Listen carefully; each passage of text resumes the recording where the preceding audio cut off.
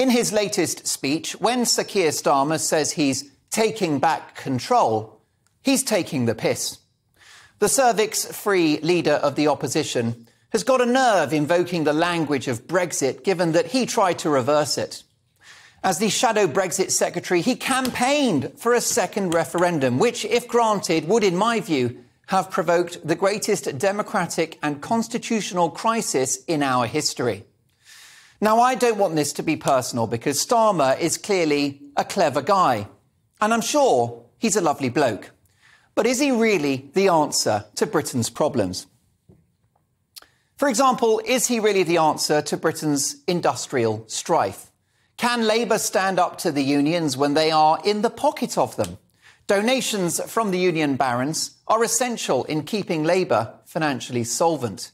Let me tell you, it's very hard to be tough with people upon whom their money you rely. We face an economic crisis with raging inflation. Are Labour the ones to tackle that, given the fact that not only would they likely yield to inflation busting pay demands from the public sector, but their talk of investment is really just a snake oil term, which in reality just means borrowing and spending more money.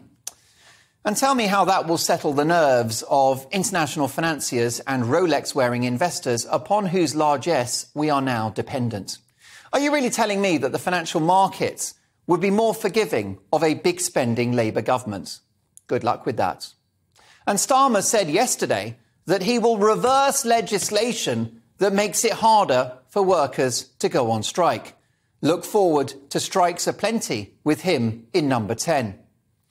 And how will Starmer get the national debt down given the fact that Labour enjoys massive support across the public sector, education, the health service, and beyond?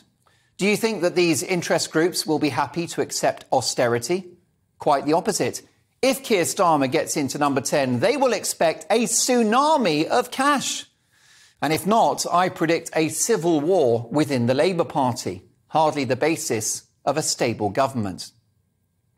Don't take my word for it, notwithstanding his largely well received speech, powerful voices within his own party are already critical, and he's not even Prime Minister yet. The Labour MP for Hackney North and Stoke Newington, Diane Abbott, for example, has described the speech as full of empty promises and says new funding is needed to underpin his plans. Is Keir Starmer the right person to tackle poisonous, divisive woke culture, which is demonising British history and turning our public institutions into crucibles of mad, politically correct extremism, with everyone being forced to declare their pronouns and sign up to a narrative that says everything about this country is shameful? Can Sir Keir really push back on bonkers gender ideology, which rejects the idea that there are two biological sexes, given the fact that he himself can't even define what a woman is, even though he's married to one? And he's shown in the past a willingness to signal his virtue at the drop of a hat, whether it's taking the knee in an empty gesture with uh, met by scorn, of course. Many of his voters were horrified by that image, or wearing a mask in the company of Justin Trudeau. Now, this was at a time when the mask mandates had been dropped. Is Keir Starmer really the right person to tackle our other great challenge, the energy crisis, given the fact that he wants to go net zero by next Tuesday and borrow taxpayers' billions in a 1970s style state sponsored company to invest in flaky renewables? We saw in the 70s what happens when the government tries to be entrepreneurial. It decimated the motor industry, telecommunications, rail, gas, you name it. Governments can't run companies. Well, actually, they can, but they just run them into the ground. Now, I have voted New Labour in the past. They made huge mistakes, namely the Iraq War and uncontrolled immigration. But they were aspirational, business friendly, and fiscally prudent, and taxes stayed low. So it's never say never that they should win my vote again. I'm like one of the many millions of people in this country and the many people watching this show tonight that makes my mind up on election day. I'm not tribal. As far as I'm concerned, whether it's a woman or a man, may the best candidate win. But right now, Keir Starmer does not get my vote. This is not Tony Blair 2.0. Blair, for example, banned the word socialism from New Labour. He just banned it. And he recently said in an interview that his party must ditch the woke stuff. Well, they can only do that if they ditch Starmer, who is rooted in the right on groupthink of Islington in North London.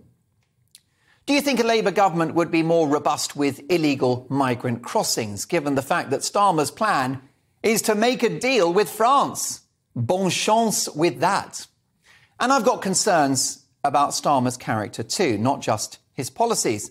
This is the man that campaigned for Jeremy Corbyn to become Prime Minister. And be clear, Jeremy Corbyn in number 10 would have been an economic and national security disaster.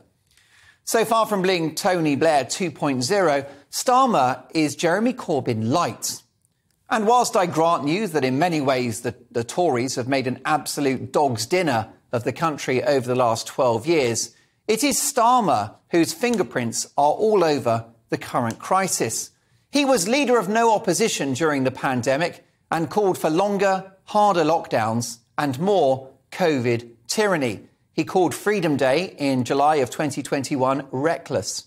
So he owns the economic, societal, human, and health damage from that failed experiment as well. His votes could have stopped it.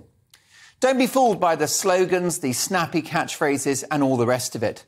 Starmer promises to end the sticking plaster politics. Well, he can stick it as far as I'm concerned. Right now, we are sleepwalking into a Labour government, and it's time to wake up.